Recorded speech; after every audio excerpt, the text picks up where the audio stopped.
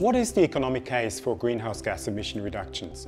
And what policy instruments do governments have at their disposal to get on top of the problem? And what about the impacts from climate change that are already inevitable? What policy instruments can government use uh, to deal with that in rich countries and poor countries alike? These are just some of the issues covered in the course Domestic Climate Change Economics and Policy. The focus is on mitigation, that is reducing greenhouse gas emissions, but we also cover the issue of reacting to climate change, adapting to the impacts from climate change that are already inevitable. As the word domestic in the title indicates, we're looking at what national governments can do. And we're looking at many different nations.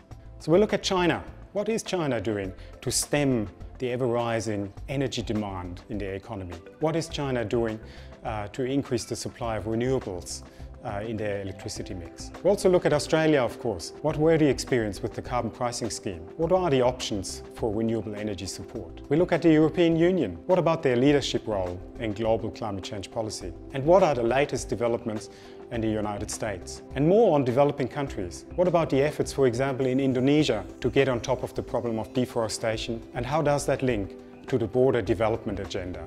As course convener, I update that syllabus every year. We want to teach you the most recent issues in climate policy and I really value the feedback that we're getting from students as well. The course is exactly aligned with my own research agenda and in fact with the events that we're running here at the Crawford School at the Centre for Climate Economics and Policy that I run. In the course I bring in guest lecturers, could be visiting academics, could be international visitors, often public servants involved or high-level staff of statutory authorities here in Australia. As a student in the course, you will be writing a major research essay.